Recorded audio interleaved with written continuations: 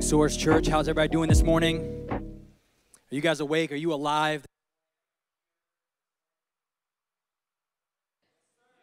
Okay, all right. I'm just making sure because I came to bring a word from the Lord this morning.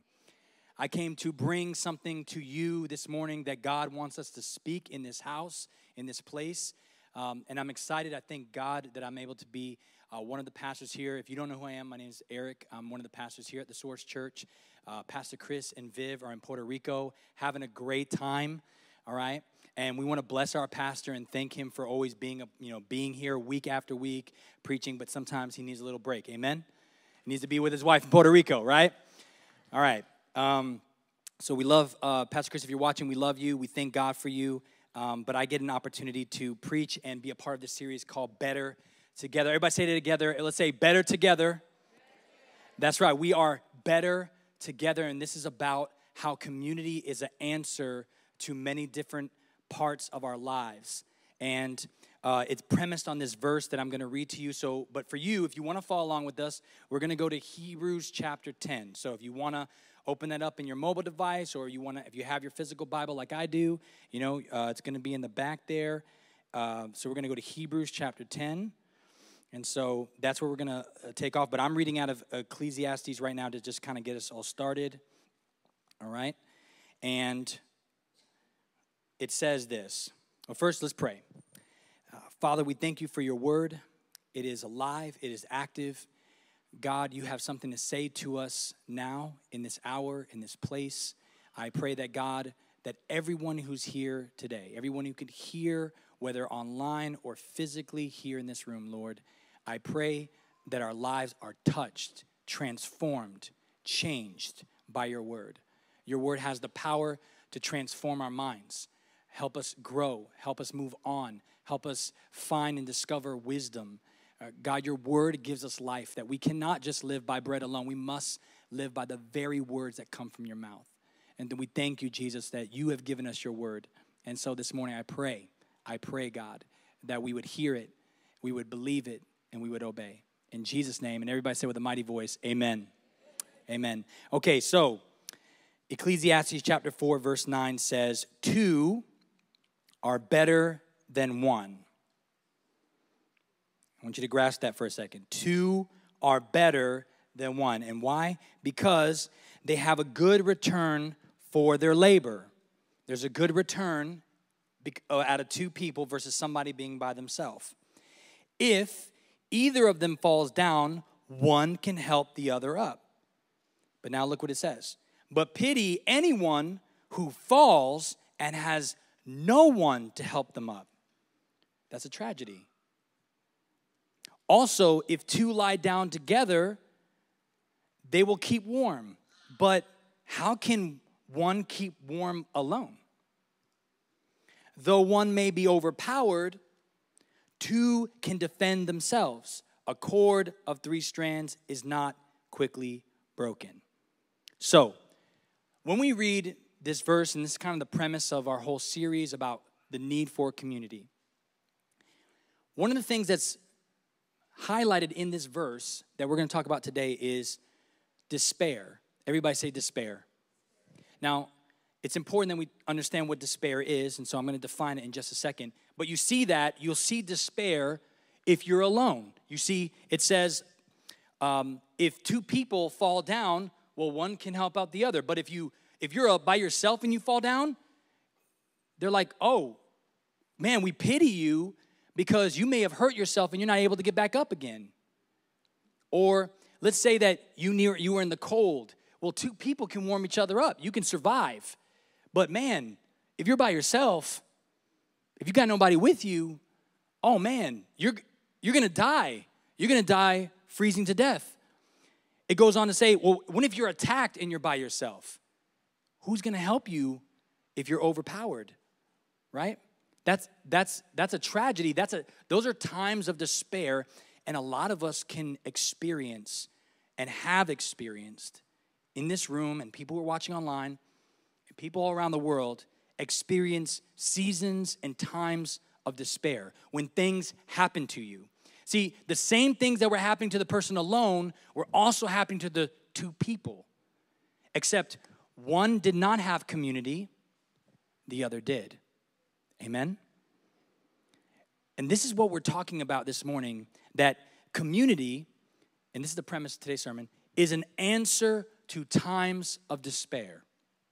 And, and I'm going to describe what despair is. Despair, according to the dictionary, is the complete loss or absence of hope.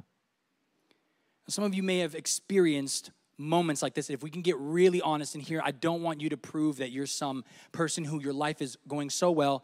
Even everyone around the world goes through times of despair when something is lost, when you lose someone, when something was taken from you, when you lost a job, or someone made fun of you, or you got embarrassed, or you you fell into sin, or you got caught in sin, or something like that, or something that happens to you. Maybe something it's physical, something happened to you, or you got sick, something that caused despair in your life. Now, either some of you in here, you are you are out of, you were just coming out of that season, you just experienced it, or you did just a while back, or you're going through it right now. Or, and I don't think there's a lot of people like this, but you're heading for it. Now, I'm not, I don't want, I don't, now listen, listen, I'm not, I don't want you to go through despair. I'm not asking for something bad to happen to you. That's not what I'm saying. But what I am saying is that in life, you are going to go through seasons of despair. Jesus does not promise that you will not go through these seasons. The question is, do you have community with you? Are you alone or you got someone by your side? That's the question. And what the and what we're saying here is that community is an answer to your times of despair. You will need that to get through. Or you will fall down and not be able to get back up. Or you will be overpowered because someone's attacking you. Or you'll freeze to death because there's no one to keep you warm. There's no one to comfort you.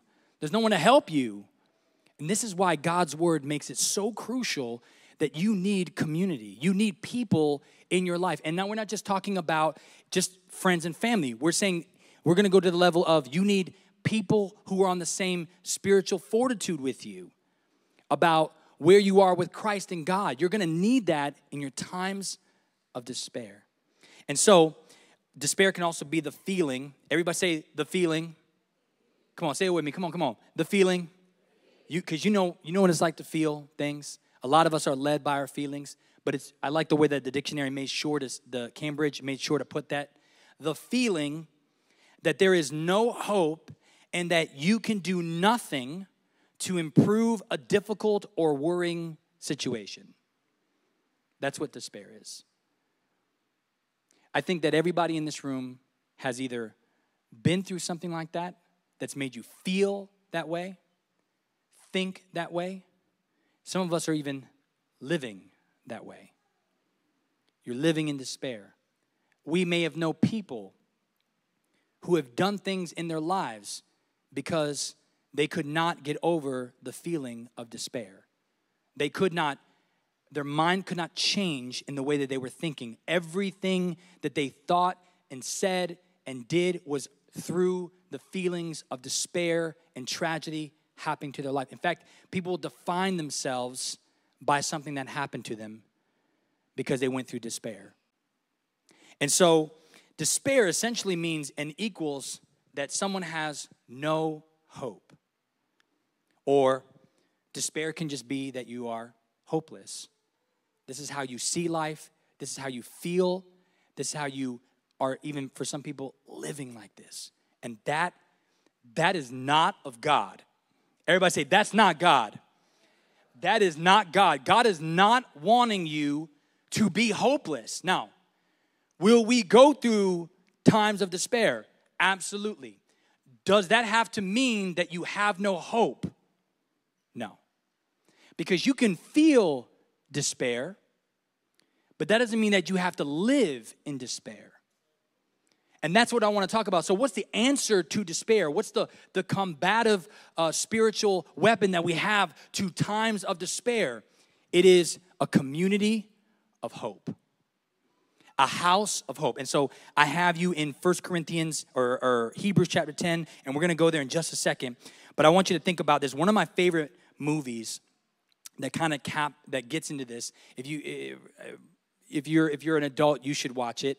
Okay, but it's it's a movie that's well known. It's called The Shawshank Redemption. It's actually my favorite movie. Like, I'm a film teacher. And so when kids ask me, Mr. Pluemer, what's your favorite movie? I'm like, The Shawshank Redemption. All the kids know that. It's a poster in my room. And uh, the reason why it is my favorite movie, it's actually my comfort movie. Like, if I had to turn on a movie right now and like watch it, it would be The Shawshank Redemption. And the reason why is because it has this life message that I love, but it's about hope. And in the movie, it is going through this entire narrative and story about what is hope. What is hope? Because in the movie, one of the key persons is some of you know Morgan Freeman's character, who is Ellis Redding. and He's been in prison because he, he did something terrible, and he's, he actually is in prison because he did something wrong. And so he says this to Andy, who's the person who's there in his innocence, right? He's in prison innocently, Andy Dufresne. And he tells this to Andy. He says, Hope is a dangerous thing. Hope can drive a man insane. And why does he feel that way? Because throughout the movie, he doesn't think that he can ever get out of Shawshank. He will die in Shawshank. He is trapped by the prison of Shawshank. In reality, he can't get over what he did so long ago the mistake that he made, the, the murderous act that he committed. He can't get over it. And so he's stuck there with no hope. And Andy tries to show Red that there is hope. There is life after Shawshank, right? You can get out. And so, what happens with Andy at the end of the movie when Red is looking for Andy, he's like going out to search for him because Andy broke out of prison. Uh, sorry, spoiler alert, right? Uh, but it's awesome. You still watch it, it's amazing, all right? Um, he gets out, he goes to Zihuatanejo, which is in Mexico. And so, um, you know, Red is like, well, I'm gonna go to Mexico, right? And he looks for his friend and he's given a letter that Andy wrote for him. And in it, this is what Andy says at the end of the movie. He says this about hope because it's about defining what hope is. He says, and listen to this, listen to this very carefully because it's very biblical.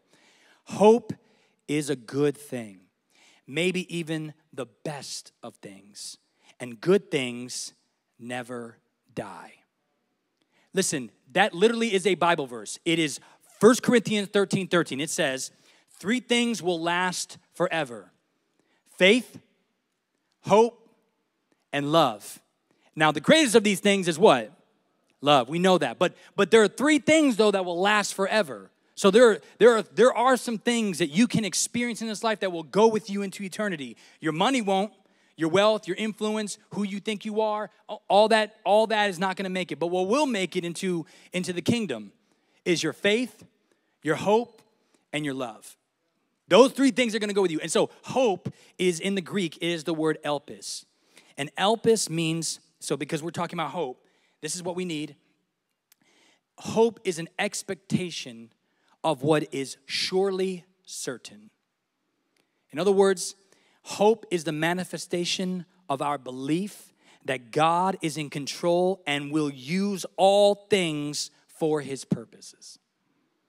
Now, that's a far exceeding idea, but I want you to understand that this is how you have and produce an, an outlook on life in where you are able to see that although you are experiencing something now, that does not have to be the final straw.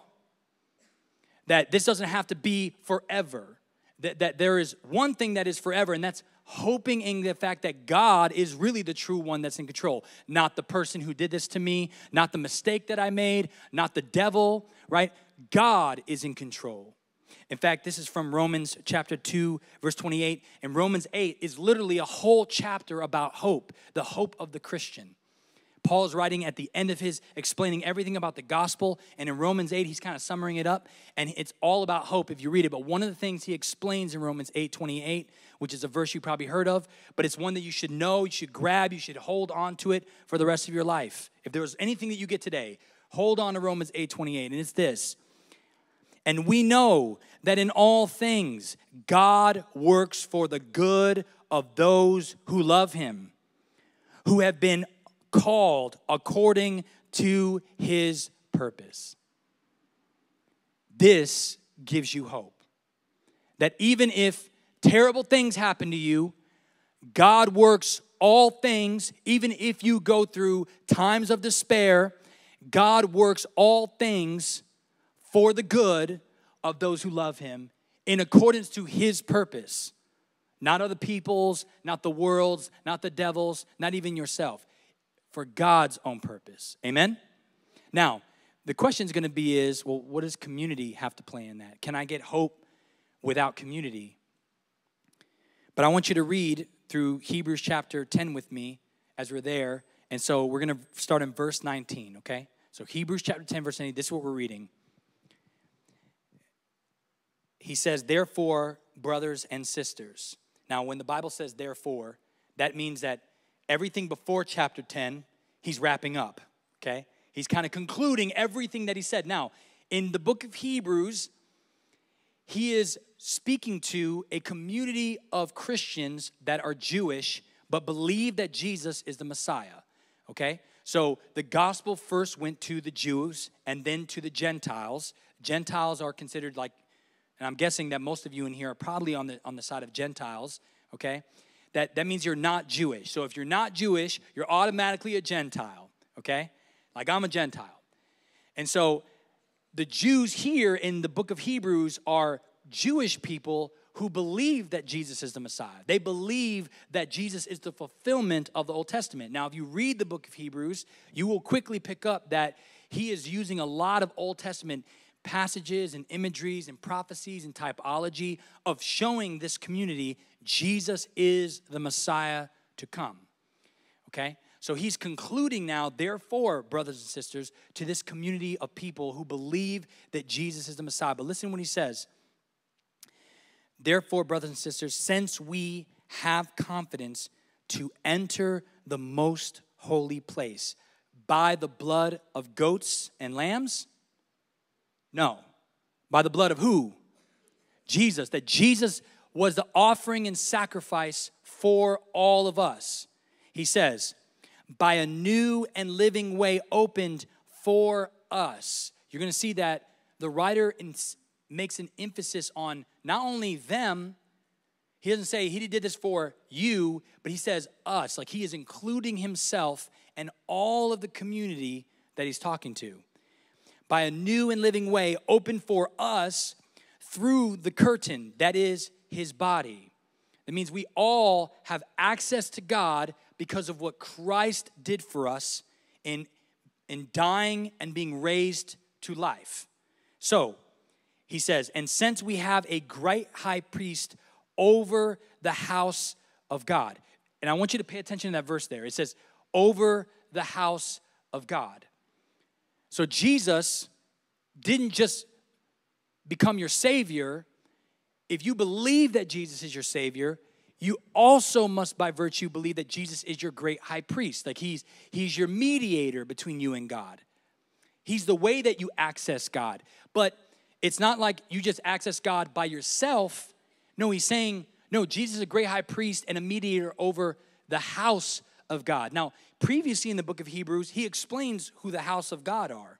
So back in Hebrews 3, I'm going to read it to you. He says, But Christ, as the Son, is in charge of God's entire house. And we, we are God's house if we keep our courage and remain confident in our hope. Everybody say hope. You keep your hope in Christ. So how do you how are you part of the house? You got your hope in Jesus. That's how you know that you're in the house.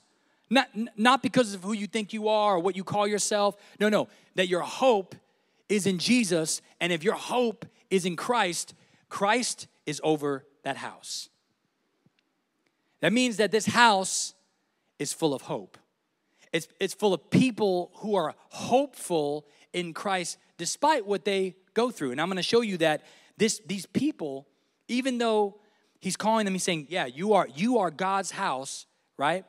He's going to show them that even if you're over God's house, they still went through some stuff that is that causes despair, that's considered tragic but they didn't let that define them of who they were. I like what uh, Charles Spurgeon once said because sometimes people have this idea of Christianity where it's just you and Jesus. It's just you and Jesus, you and Jesus. But, you know, it's like the church, man. I mean, I, it's optional, right? It's optional to be part of the church, right? And, and don't get it twisted. I'm not saying that there isn't a reality that the church institution have done things that have hurt and affected people's lives. So I'm not continging or making the case that your salvation is based on being a part of the church. I would never do that. But the idea that you don't have to be part of the church or you don't need community, but you're gonna follow Jesus, I'm gonna tell you, I've never read that from anywhere in Christ teaching that, that he ever came to someone who's like, yeah, it's just me and you, dude. Just me and you and everybody else. Like, can you imagine if you were a disciple of Jesus and you were like, hey, Jesus, hey, I just want to follow you by myself, but like, yeah, I don't, I don't really want to be with the 12 though. So, like, me and you, can we do our own thing? How do you think Jesus is going to look at you? No, you can join me in the 12, right? You're invited into 12, but you're, but you're not going to have your own thing with me, right? Jesus always insisted on the idea of community. Jesus is building the community. That's his idea. So Jesus is not going to say, "Oh, you, you're so special. I'll just have something special for you out, out over here." Nah, Jesus is going to want you to be part of the community. He, he always did that. When he sent them two by two to go and minister the gospel, notice he sent them with someone else, two by two. Jesus always did things and disciple people with community. And that's the beautiful opportunity you have when you're doing power groups. It's not about you you having your own Bible study with Jesus by yourself every morning. No, it's about you spending time with God's people and learning together. That's that's why we do power groups. Amen? Because we want you to experience the fullness of God and learning about Christ. When you're in a power group, that's you're really learning like a disciple of Jesus in that context. More, I would insistently say, than if you were just reading the Bible by yourself. Because when you're with people, that's exactly what Jesus would have done. Jesus would have had you and someone else and a group of people when they were the 12, they were reading scripture together. So you didn't have the disciples were like, okay, everybody, take your Bible and you guys go out in the forest. And you, no, they did it together. Everybody say together. Together. You, it, we're better together. We're better together. Uh, Charles Spurgeon says, some Christians try to go to heaven alone in solitude. But believers are not compared to bears or lions or other animals that wander alone. Those who belong to Christ are sheep in this respect that they love to get together. And sheep, if you've ever seen sheep, they do. They just gravitate towards each other. And sheep go in flocks, and so do God's people. The absence of hope in our lives comes from the absence of truly knowing God and not having community in our lives. If, if we feel there's a lack of hope in you, that you that things can't change, I would, I would simply ask you a couple things. When someone comes to me and they're like, they feel like they're distance with they're distance with God, right? Like some people in here would do that, or I had people call me and they're like, "Man, Erik, I feel like God's far from me. This and that, blah blah blah blah." And you know what? I I just like three things that I always go to. Number one, hey, when was the last time that you read God's word? And they're gonna say, probably to me, if they're honest, uh, yeah, I mean, yeah, it's been a while, Pastor Erik. I haven't really read God's word. And I'll be like, okay, well, how, how are you expecting God to connect with you? Like, how are you gonna hear from God, right? You thought he was just gonna speak to you in the middle of nowhere, right? Like, like you deserved an audible voice for God to come to you. Now, he might do that, I'm not gonna, I'm, we would never put limits on our God. But I'm pretty sure if you just read what he already audibly said, I think that you can hear from God a lot quicker. Right? You can you can open up the word and find some real good encouragement and hearing from the Lord if you just if you just read your Bible, right? So they'll they'll I'll be like, hey man, you, you gotta get back in the word, bro. If you get back in the word, and I'll ask them, like, remember when you were in the word? They were like, yeah, I really was connected with God. I'm like, so, so if you disconnect from the word, you're gonna feel disconnected, right? Number two, when was the last time that you prayed? Like sincerely, you like God, not quick prayers. I'm not like you got alone and you were like seeking God. Oh man, no. That's been a while too. Okay, how was God supposed to hear you if you don't say nothing? If you don't give him your attention? You want God to you want God to hear you and you want God's attention, but you don't spend the time to just be before Him physically. Like, God, I'm giving you my mind. Please talk to me. So that'll be number two for me. And sometimes they pray or they or they don't read the word. Sometimes they read the word but they don't pray. But here's a third one that I absolutely have learned over time that is so crucial. The last thing I will ask them is, "Hey, do you go to church? And are you connected to a small group or are you are you connected to your community that people know who you are and what you're going through?" And if a lot of times people will be like, "Oh no, I, I really haven't been going to church." right? Oh, or um, I'm not really part of a small group. And I'll say, dude, this would be so much easier for you when you are connected with people who are also connecting with God. And if they saw that you were not connecting with God, they could keep you accountable. They could encourage you. They could speak for God to you. It's almost like you cut yourself off from all the different ways that God could speak to you, and He wants to speak to you, but you won't let him in. Your ears are not open, your eyes are not open, and your hands are not open. So, having community, having a physical place where people can see you, discern by the Spirit of God, and be able to say, hey, are you all right, man? Is, is there something you need? People could pray for you, where you could confess your sin. If something's going on, if you did something bad, you have a place where you can trust. And that's so important to the Christian life. Because if we keep these things to ourselves and we live alone, the Bible says that, man, tragedy and despair will overcome you, will overtake you in your time. So, community is absolutely crucial to giving us hope in our time of despair. Look what it says um, God gives you a community so that your hope won't run out.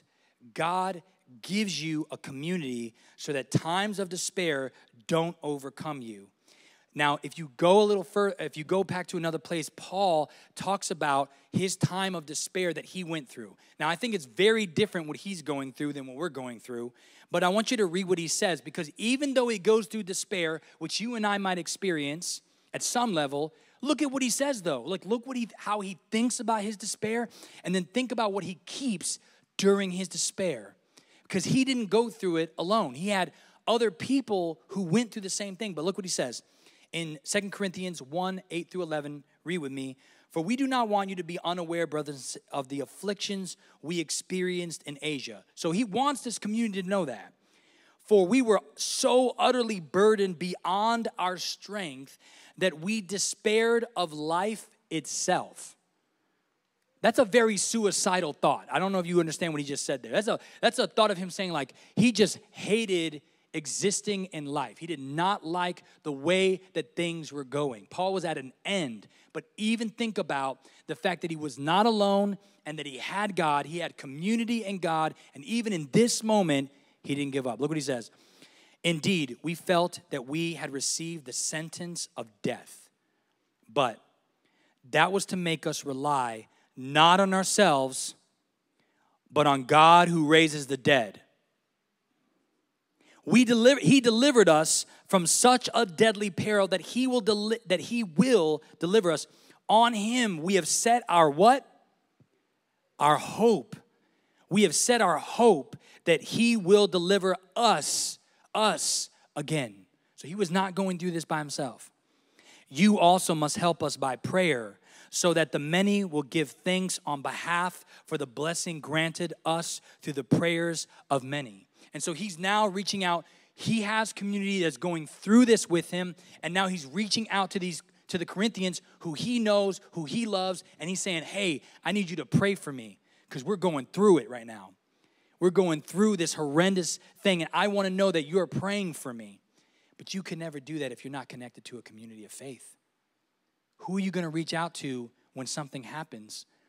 where is your hope going to come from?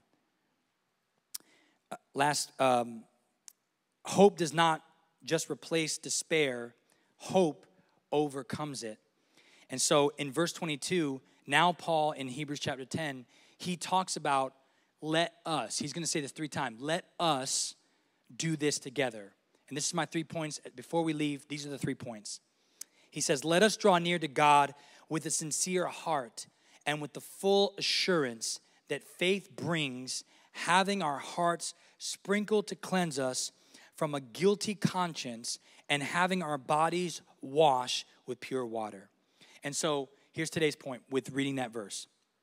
Together, together, we can approach God with our burdens, problems, sins, anxiety, cares, requests, and prayers together. You will feel much more confident in your prayer life if you had someone who was praying with you. I remember when I was, just quick story. I remember when I was like, I really need to find a wife. I really need to find a wife. Okay? I was young, 25, and I was like, I can't, I can't live like this no more. I was like, I need a wife, Lord Jesus. And my friend Peter at the time said, Hey, brother, I'm gonna, I'm gonna pray with you for the next couple months. We're gonna pray together every day for your wife. And that gave me some serious confidence. That gave me so much confidence. I was like, oh, okay. I wasn't alone to ask for this. My brother was like, no, I want, I feel, I feel your pain. I want that for you too. I, and, and guess what happened a couple months later? I met my wife. She's beautiful. I had no idea what she looked like, who she was gonna be, right? She was, she's a 10, I'm a, I'm a, I'm a little two, right? Right, on the scale, like, right? so, so I didn't, she was definitely way out of my league, for sure. But because someone prayed with me, because I had community, God answered my prayer, man. That my prayer life was so much stronger. There's a difference when you have someone who can pray with you for things. It's just so different. Verse 23 Let us, he says, let us, everybody say, let us, us, hold unswervingly to the hope we profess, for he who promised is faithful. And so, what is he saying now? He's saying, together we can hold the hope in Christ by our confession, commitments, accountability, and mutual faith. You will, listen, your hope will be so much stronger when you have a community of faith of people who also have hope. Because when you're you feel hopeless you have people who are hopeful for you. They have something to give you. But if you're hopeless by yourself where's the hope going to come from? It's not magic. It's got to come from somewhere how, how is someone going to tell you that, hey, dude, hey, listen, this is not forever? How is someone going to tell you, no, no, no, I know you did something wrong, but there's forgiveness? How, how are you going to know that unless someone is with you? The way that God often speaks to us is through other people. He'll speak through His Word, He'll speak through prayer and, and peace surpassing understanding, but a lot of time, God will send someone to you and he will be a brother in Christ, a sister in Christ who also has the Holy Spirit, and that person can literally be like the tangible presence of God in your life. Because they carry the same spirit that you have. And in your time of need, they have been given what you need. They can say, Brother, I've been, I've been there. I understand where you're coming from. And they can even relate to you. So when you're sitting there and you're going through something, you're like, I don't know, nobody understands what I'm going through. No, that's not true. That's the devil. The devil wants to make you think that you're the only one, that you're alone, and you're and God's going to put you as the only person to feel like you're going to go through that. That's hogwash. That's that's not from God. No, no. There's other people who have gone through that and they are there to help you through it. That's our God. God's never left you alone. When God says, I will never leave you or forsake you, that means that He has a community of people for you to be with so that when you go through your times of despair, you are not alone.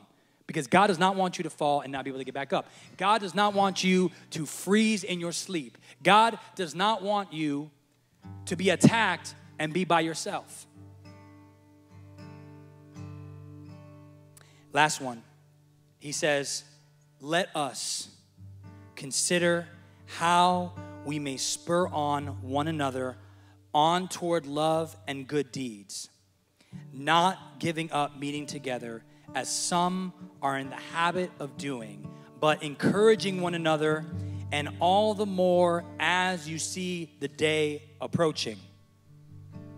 Now, a couple verses later, he's going to talk to this church and he's going to say, Listen, I remember what you've gone through. This church, these people, this community of faith went through some very tragic things. If you go down a couple verses, he says this Remember those earlier days after you had received the light?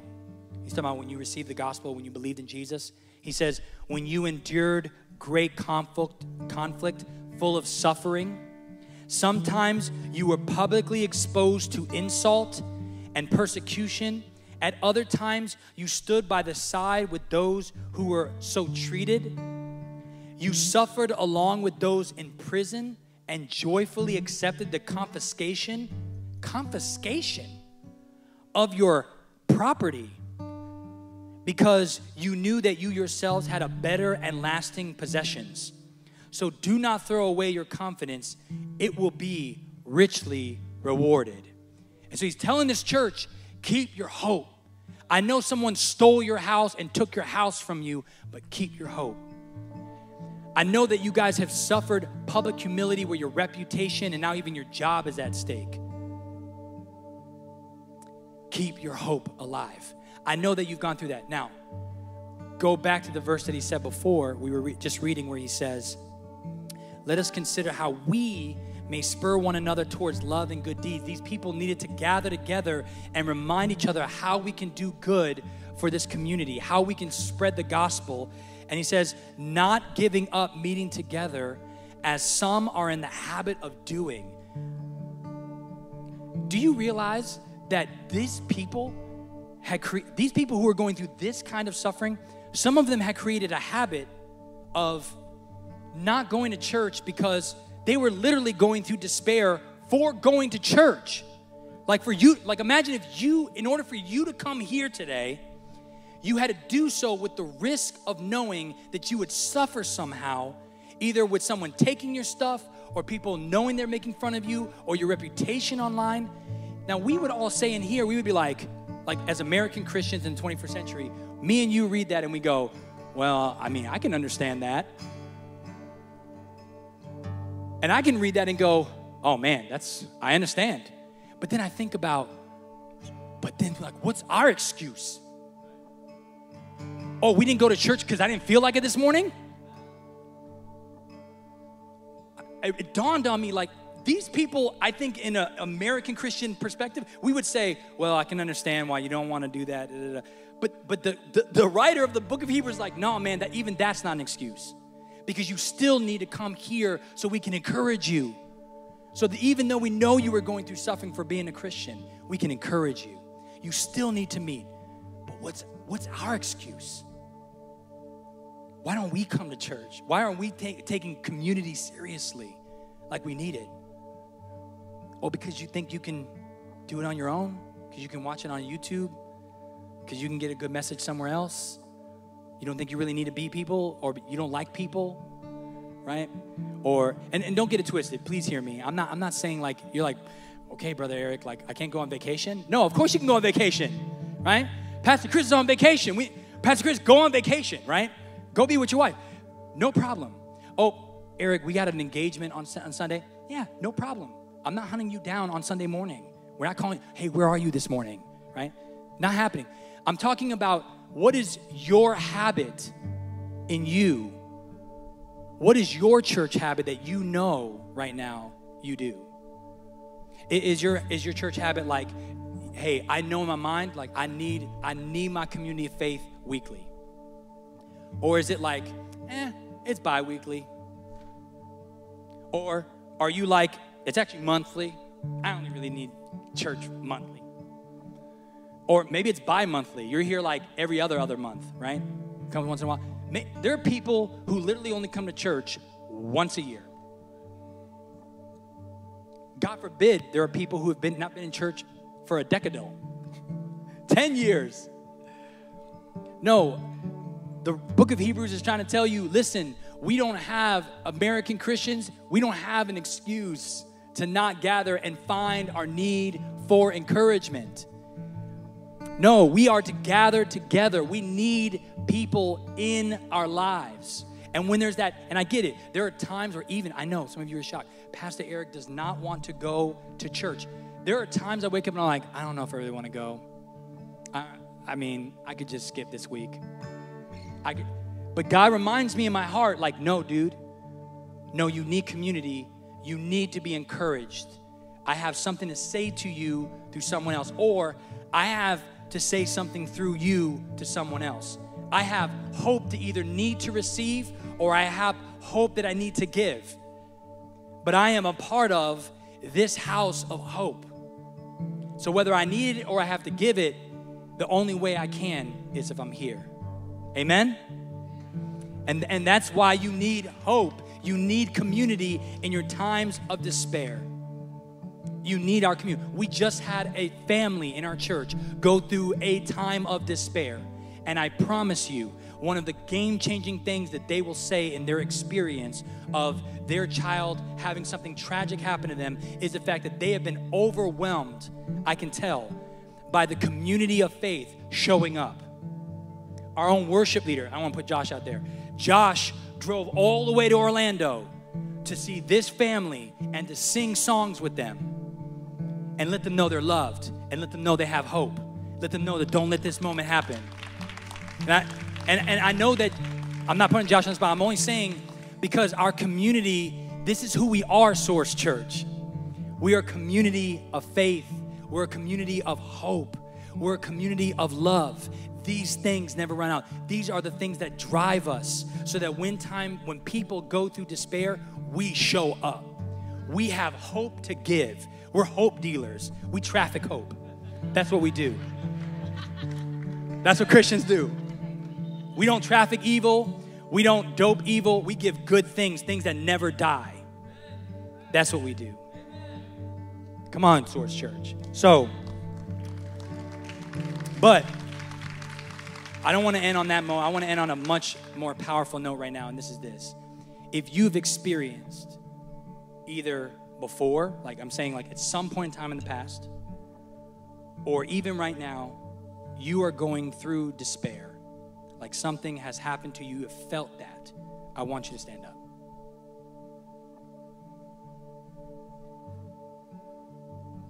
You have been, and it doesn't matter, this is not like you had to go through something crazy. I'm saying that you just, you felt a moment of where you felt despair. You felt that, hey, I, I, I have felt through, I've gone through something that I felt like was hopeless, okay? That things would not change. I was through a moment like that. And if we're really honest, everybody standing up, because there's no way that you went through, God has not put you through something that where you could honestly say, man, oh man, I've gone through something. I want everyone to look around the room real quickly. Just take the time. It's not, look at me, look around the room. Look about how, how many people have gone through something that would be considered hopeless, okay? Because we can all recognize that. And yet, God wants to give you hope this morning. And so, what I want us to do very briefly and literally for like one minute, okay? I want you to go to the person that's next to you. You may not know them. This may be even weird and a little uncomfortable at some level, okay? But this is just to break some barrier here and to genuinely for you to know there's community that you can just look at Pastor Erik the whole time. I want you to look at the people behind you, in front of you, and I want you to encourage one another with the Bible verse that's going to be on from Second Corinthians 4:18. I want you to encourage each other based on this verse and pray for one another. And then we are going to sing and pray out. Okay? So, go right now. I want you to just turn to the person next to you. You don't have to get in big huge groups, just one or two people. Just encourage the person that's next to you and pray for one another.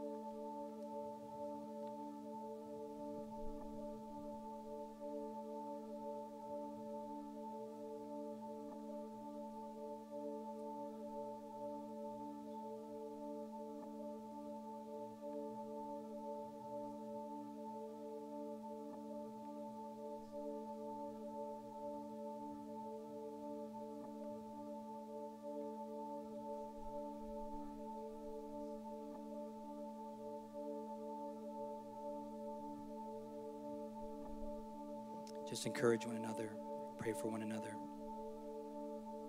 We all need hope this morning. Even you who are watching online, I pray that you are praying for us, or you have someone who's with you watching to pray with you.